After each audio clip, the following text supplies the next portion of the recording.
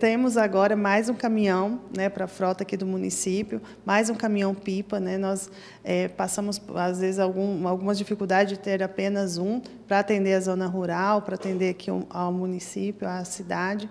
E hoje contamos, sim, com mais um caminhão é, para toda a população, para os agricultores. Né? Então, a gente fica feliz aí de estar com essa frota, né, com esses caminhões pipas, né, é uma brigada de incêndio, então, né, já já fomos, né, graças a Deus nesse ano não, mas há um ano retrasado, um dos municípios com mais focos de, de fogo, então a gente daí consegue estar, tá, né, é, atendendo e cuidando aqui da, do, de todo o município.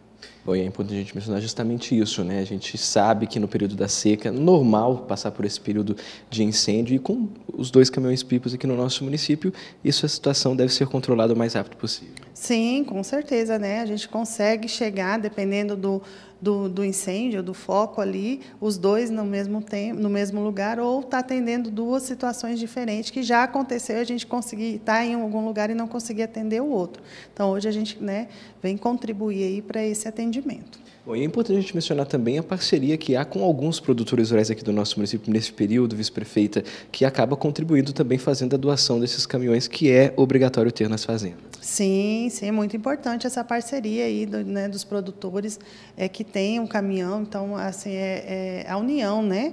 É, são vizinhos às vezes de propriedade, então na hora do fogo todo mundo ajuda, né? E nós como como prefeitura também estamos lá para ajudar a combater o incêndio.